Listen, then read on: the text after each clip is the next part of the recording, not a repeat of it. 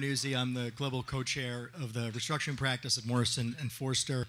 I'm here to introduce my fellow co-chair Jim Peck, who's here to introduce Tim Coleman. So I'm the guy who's introducing the guy who's introducing the guy, and I'm having my webpage bio updated to reflect that accomplishment today. A um, couple of words about uh, my co-chair uh, Jim Peck. Uh, Jim is a former bankruptcy judge, having been a judge on the Southern District of New York in the Southern District of New York from 2006 to 2014 before he joined Morrison and Foerster.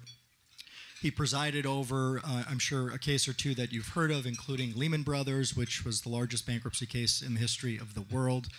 As the judge in Lehman Brothers, he wrote some important decisions interpreting the safe harbor provisions and their impact on qualified financial agreements. He, in fact, uh, was the co chair of the ABI Advisory Committee on uh, the safe harbor provisions. Um, he is a frequent guest speaker and lecturer and attends many international conferences talking about international insolvency law. Uh, in fact, he just got back from Brazil yesterday or the night before, so excuse him if he's a little jet lagged.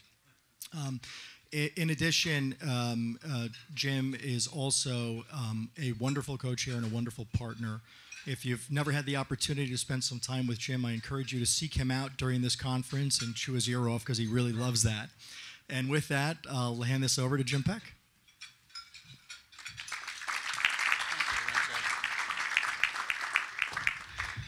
So uh, that was a really wonderful introduction, um, most of it true.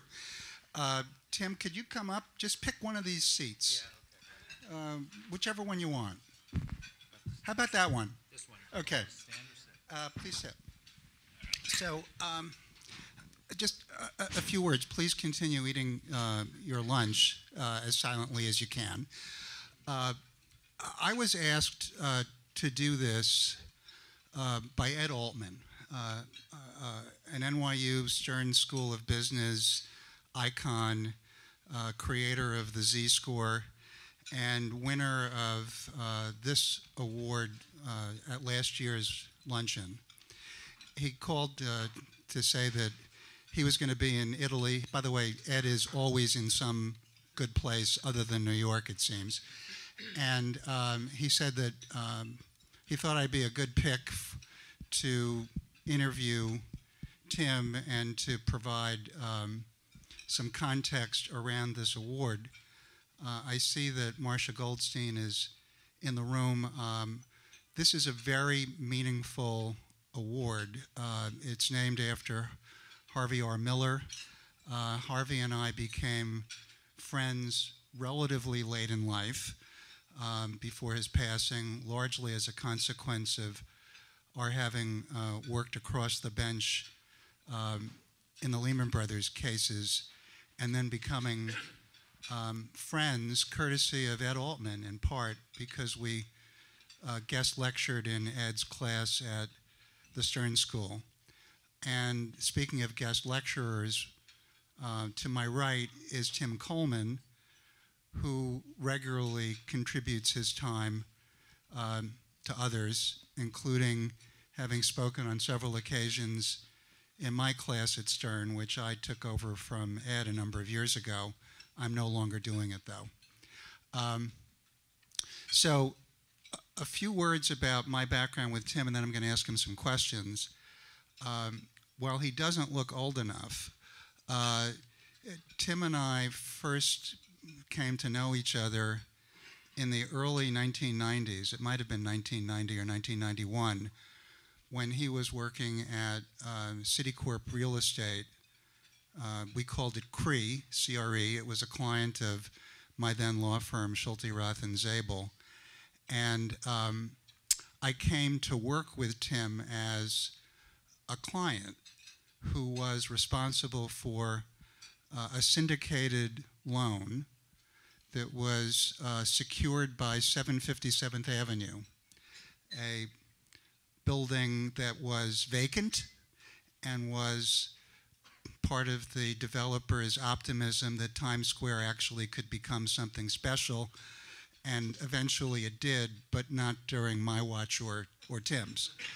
Um, but uh, what I'd like to do is simply ask Tim about that historical experience of having been at Citicorp Um, we're not going to go back to his educational background, which is uh, distinguished. Um, University of California, Santa Barbara undergraduate. I believe a year as a waiter uh, at a place in Santa Barbara. Try that sometime in your career. It Uh, really makes a difference. Apparently it does.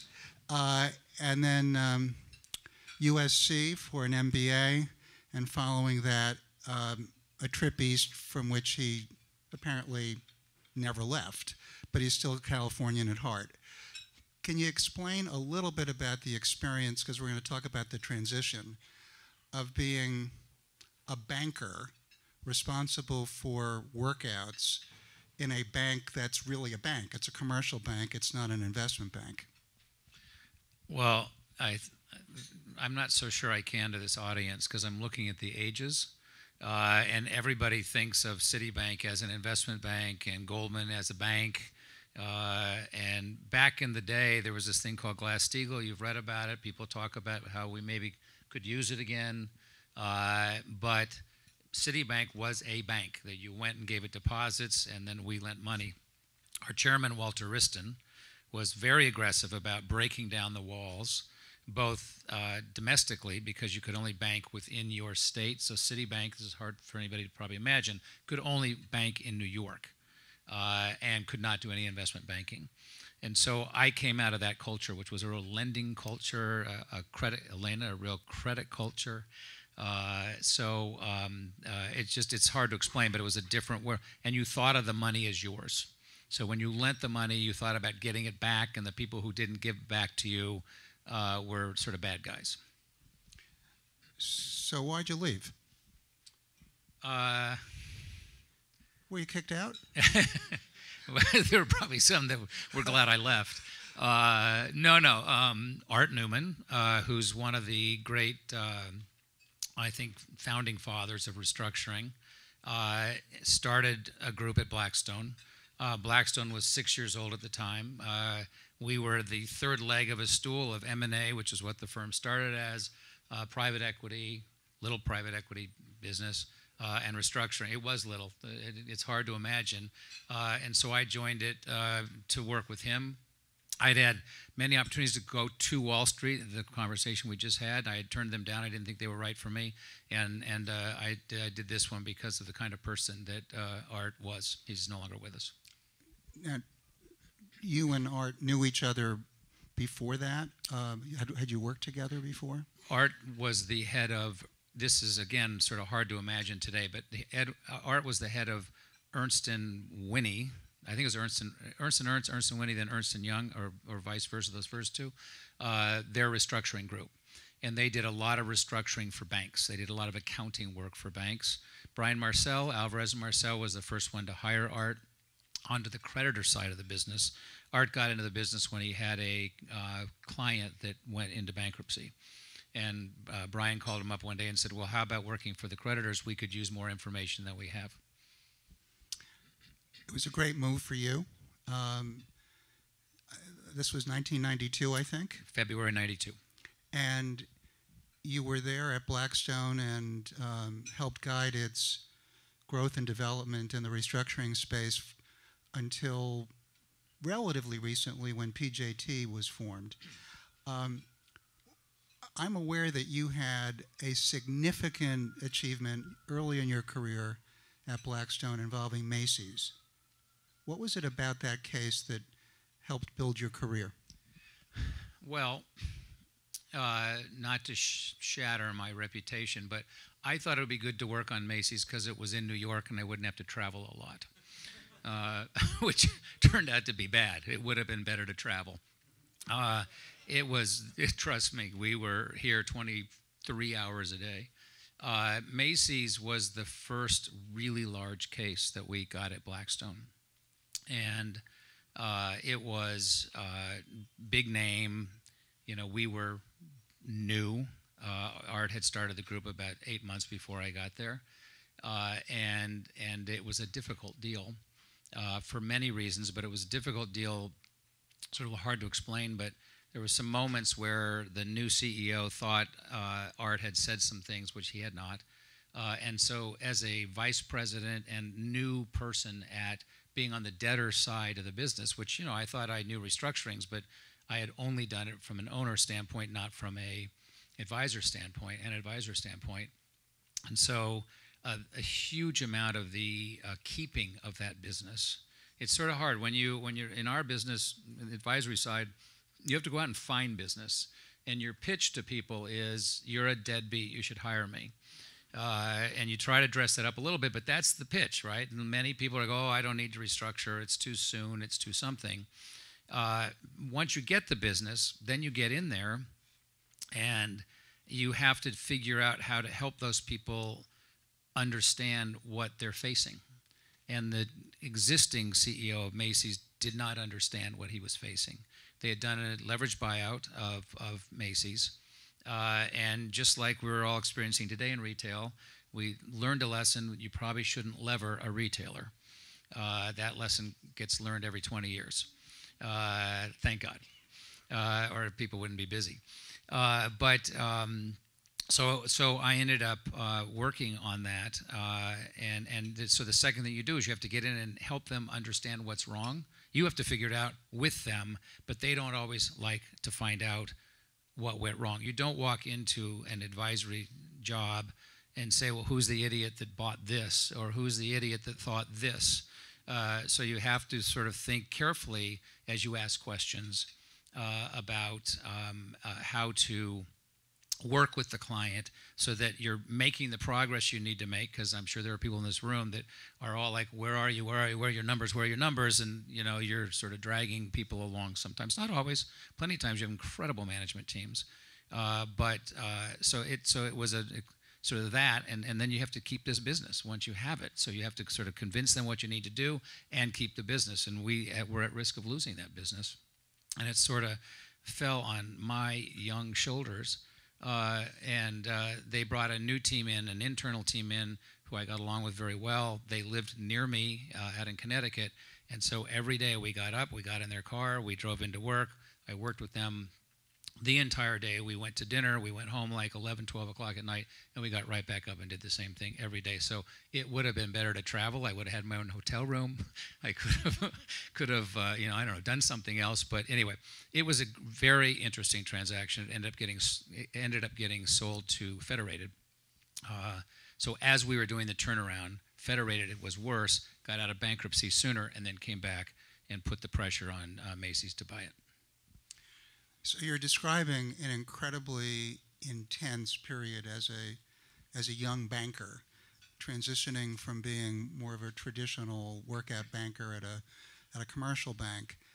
Let's roll the tape forward a little bit. Um, you've become, um, I don't want to overstate it, an icon for uh, the industry. Old.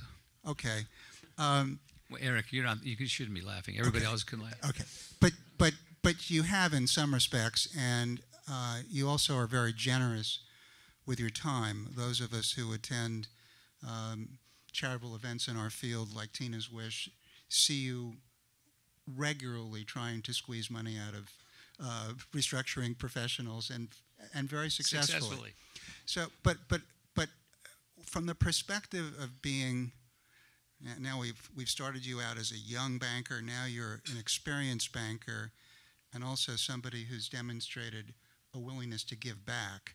I have a couple of questions for you that stem from time when you spoke in my class, because we talked uh, with students at NYU about how valuation, uh, which is contested, can be presented in a manner that is persuasive to the finder of fact, that would be the judge. How do you do that when you know that there is somebody on the other side who's going to be disagreeing with you? And I'm going to ask you now how do you maintain your credibility when you're taking an extreme position? I, I don't think I've ever taken an extreme position. Okay, that's the laugh line for the afternoon. Uh, I would say this. Um, I, I think at, at Blackstone slash PJT, um, we take a very strong view about the importance of the company's business plan. Um, you know, I can get on the witness stand in front of you and argue with some other advisor in here, whether it's a 10 multiple or a 14% discount rate or something like that. Interesting, boring. Uh, everybody has comps. What really matters is when you look at the business and the business plan and you try to figure out what will that company look like in year one, two, three, four, and five. We typically do five-year uh, forecasts and if I'm taking it 10 multiple, 10 multiple times $500 million or a 10 multiple times $5 billion, depending on what the business forecast looks like, if it's credible, that makes a, bless you, makes a very big difference as to the value of that company. So I think if you get the business plan right, and that's what I was saying earlier about really working with the management team to figure out what is it, what do you have, how much liquidity you have, how long can you last, how do you finance your business, but more importantly, when this mess goes away, whatever the mess is, what will your business look like going forward? If you get that right, and you get everybody on board for thinking about the business before you get into valuation, hopefully, when you get to valuation, if everybody has their view up both sides of that business forecast, but not far off of it, then when you take your multiple, you're not far off from a valuation standpoint. And I think the number of times I've testified, actually testified to valuation, uh, are certainly no more than five, and, and probably even less than that, just because I think if you get it right, you shouldn't have that battle. But isn't the business plan to some extent just a projection that includes a lot of fudge factors, high case, mid case, low case?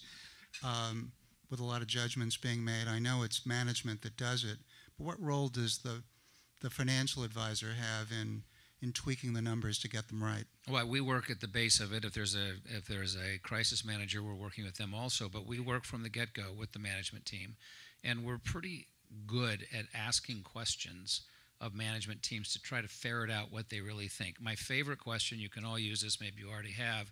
My favorite question when we see the first for every every company I've ever been to. Oh no, we have a forecast, and it's always a one-year budget. Not always, but almost always a one-year budget, not a five-year forecast. And they show us the forecast, and then you say, well, all right, well, what are the chances that you're going to make this forecast? 100%. We're going to make the forecast. I'm like, well, that's great. What are the chances you're going to beat the forecast? Oh, there's no way. There's no way we'll beat that forecast. So I'm like, 100% chance you're going to make it, and 100% chance you're not going to make one penny more than this okay, maybe we better go back to the drawing board. It's questions like that that help people start to think it through. I will say we started doing our own business plans at Blackstone. Tony James made us do it. And for a bunch of people that spend their lives talking to management teams about five year forecasts, you would have thought we hit them over the head with a sledgehammer. I couldn't possibly predict what's going to happen next year of our own people. So it's sort of, you know, a little bit of a, what's good for the goose. Uh, but but if you that, you have to just dive in and, and try to get to the base of what that business does, what it can do, what it should be doing, uh, and if and and it's not easy, uh, and it takes a team effort, and uh, hopefully you have a good management team that you can do that with. Uh, but uh, that that to me is an enormous part of the job. When you think about your career trajectory, and we're doing that today. It's pretty remarkable that you started out in 1992 essentially not knowing anything about what you've become truly expert in. What are the characteristics, your personal characteristics, that you think led to what everybody would recognize as a remarkable success in our field? Probably fear and panic. Uh, you want me to ex- expand on that? Please discuss. um, you know, working in Macy's, I, I, didn't think I knew what I was doing. I was worried about it. I, I, you, you're always, I think, striving to do better. How much better can I do? And have, have I done enough? And have I thought about this enough? And have I, you know, handled the client enough? And have I worked with the lawyers enough? And have I worked with the creditors enough? And it's, you know, to me, uh, there's a certain amount of insecurity that helps Uh, I think build a career. Uh, if you think you have, it if somebody in this room thinks you have it all, you shouldn't be listening to me. You should get up and continue to have it all. Uh, but I doubt there is anybody in this room that feels that way because you're constantly thinking to yourself, you know, I can remember one deal I was on. Uh, I got to think about how to say this. It was Adelphia, and uh, I felt Adelphia was going to go to a 363 sale. Uh, and somebody went into art, even though it was my deal, somebody went into art who didn't, they thought he might know more than me. And they went in and they told me, no, no, no, it's going to be, uh, you know, according to a plan. And sure enough, it be, and I was like, oh, I must be wrong. Uh, well, it became a 363 sale. And so some of those events, I think, help you realize that maybe your thinking is good, maybe your advice is good, but I actually think fear and panic and, and a little bit of insecurity helps you strive harder always to be better at what you're doing uh, and, and uh, sort of leaving no stone unturned. Mentoring in our field is something that I know used to happen. I had the experience of um, being mentored by the late David Sykes, who was a, a partner at Duane Morris in Philadelphia.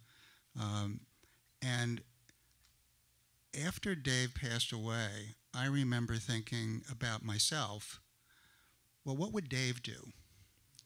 Is there, when I had a tough situation to confront,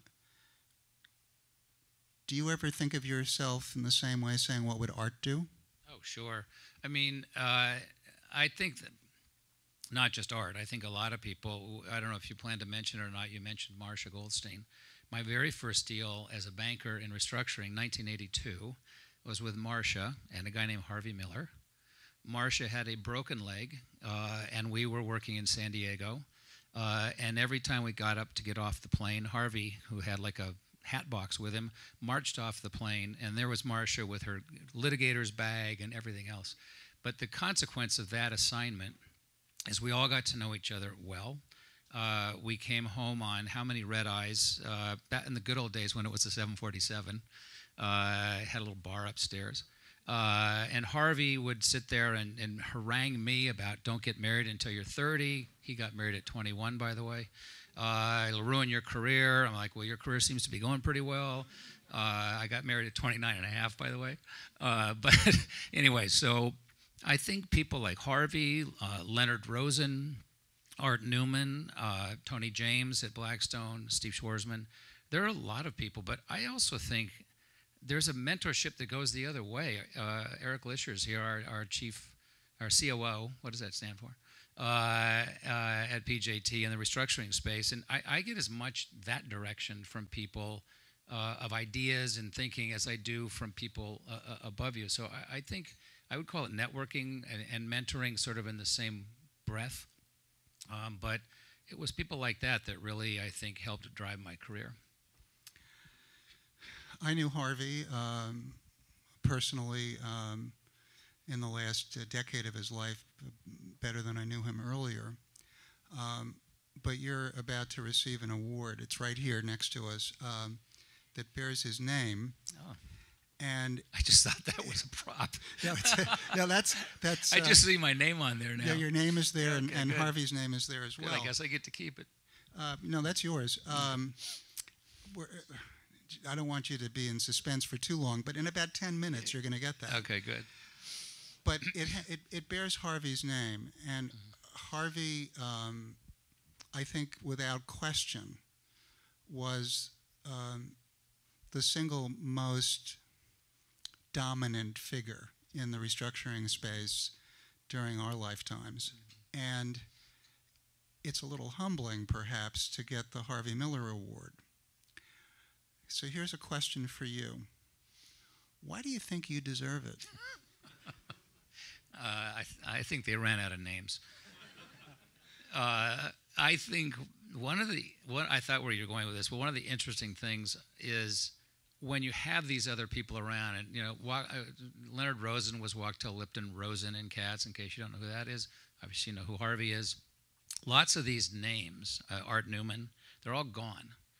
Uh, and when you called me an icon earlier, which I always find humorous, those are the icons in my mind. Uh, those are the people who, you know, were just such spectacular uh, people and, and, and professionals and everything else. So um, I would say every time I've been honored by anything, I'm always again the little bit of fear and panic, like, okay, I don't know if I deserve this.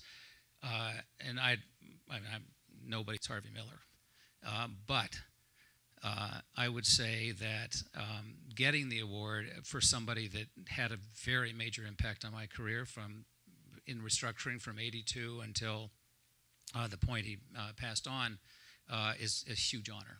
Uh, and uh, It, it, um, it is, and I'm going to transition away from, from this to something more recent. You have a beard. What's that about? Was that because this is a beard group event?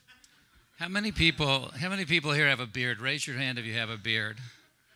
All right, look, see, that's why I have a beard. Okay, so the so you're here, to- you're, you're emulating the other beards I'm in the trying to look younger. I just, uh, he's hassling me. I just sailed across the Atlantic uh, and grew my first and only beard of my life. And then when I got home, I thought, well, maybe I'll keep it for a while. So I, I'm trying to look young and hip, and I think it's working. That wasn't supposed to be funny. No, I, I think it's working too. Um, one last point before I give you the uh, award, which is truly well deserved.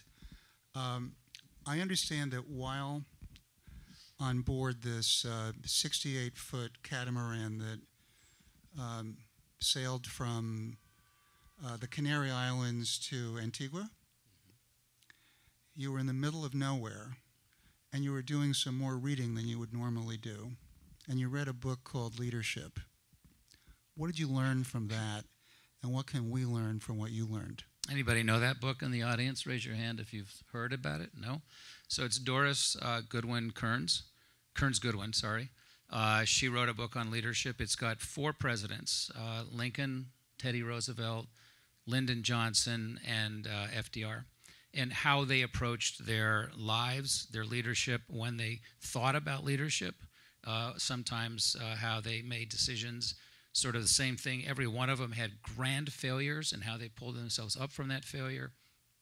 It's a, fascinating book for all of you that when you're thinking about your own lives, your own career, whatever you're leading, because everybody leads something. Uh, you know, uh, I learned a lot from it. I, I some of it was just uh, made me feel okay. I did a lot of that. That feels good. Some of it was like, wow, that's just amazing. I mean, what they, I mean, obviously, what they faced, you know, facing a civil war is a little bit different than facing a Macy's bankruptcy. Uh, not much, actually, but uh, but I learned um, I learned how important it is to have integrity in your leadership, uh, to stick to your guns, and I don't mean don't be flexible, uh, but to you know don't be afraid to stand up and, and be counted, uh, and, and uh, even if it's unpopular, um, and uh, how to how so many my, my own view of leadership is listening to the people that work with you and, and, and are junior to you uh, because they have so many ideas and, and too often people ignore those ideas. Uh, so I think uh, I- you know it, it just I can't I can't encapsulate the book in one quick response but I would tell you all to read it, it it's worth it she's a great writer great historian uh, respected by you know everybody and uh, and uh, it was it was uh, interesting, a very interesting read. I'm not going to ask you any more about the trip, but it must have been frightening to be in the middle of nowhere reading about presidents. Felt like my career. Um, so um, you were talking about standing up. I think it's probably best for us to stand up. Uh, not quite yet. Um, my fear is I'm going to drop this. Let's just leave it. Let's just leave it right no, I there. think I have to give it to you. Oh. I think I have to give it to All you. right, wait. I'm gonna I'm gonna read what it says. It says Beard Group presents Timothy R. Coleman, um, the Harvey R. Miller Outstanding Achievement Award for service to the restructuring industry, 2019. It's engraved. It's, it's It's mine. it's yours and it's well deserved. Congratulations, Tim. Thank you. Thank you. Thank you all. Hold on. You gotta shake your hand. Thanks very really- much. It was really good. Are we done? We're done, I think. Okay. Can I leave this here to anybody that knows anything? Where you can, I can leave it right there because there's no way. I don't want to break it.